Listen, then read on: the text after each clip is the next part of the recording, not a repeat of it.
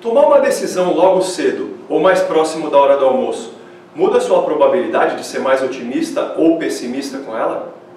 Por que os investidores não ficam tão felizes quando ganham, mas ficam muito tristes quando perdem?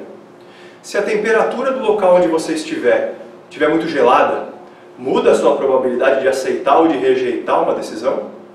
A ordem das alternativas que eu te apresentar muda sua probabilidade de aceitar uma e de rejeitar a outra? Você toparia pagar mais ou menos do que 10 mil reais por esse curso? Porque quando eu te apresento com um preço, eu aumento a probabilidade de que você feche esse curso. Quais as condições têm que acontecer para eu ter um efeito manada? Isto é, várias pessoas tomando a mesma decisão, sendo que na verdade uma ou duas no máximo pensaram sobre aquilo. Meu nome é Rafael Paloni, eu sou instrutor da FK Partners nas certificações de CFA, CGA, FRM e vários cursos em Company. Tenho um mestrado em Economia por uma das mais respeitadas universidades da Inglaterra. E minha área de pesquisa e interesse é a teoria da decisão. Nós tomamos várias decisões todos os dias. Que marca de café eu compro? Que roupa eu visto?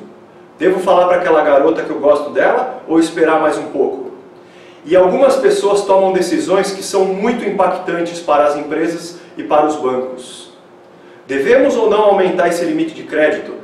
Devemos executar essas garantias ou esperar que eles nos paguem? Devemos promover alguém internamente ou recrutar alguém do mercado? A produção do conhecimento na área de teoria da decisão tem passado por muita evolução nos últimos anos. Mas nós sabemos que o ser humano erra sistematicamente e que ele tem viés no seu comportamento. A FK, sempre focada em cursos relevantes para a área de finanças, lança agora o curso de Teoria da Decisão. Nosso objetivo é te mostrar esses vieses do comportamento para que você os evite e consiga tomar melhores decisões. Não perca tempo. Nossa carga horária é de 25 horas. Procure a gente para um curso em company ou para saber das próximas turmas.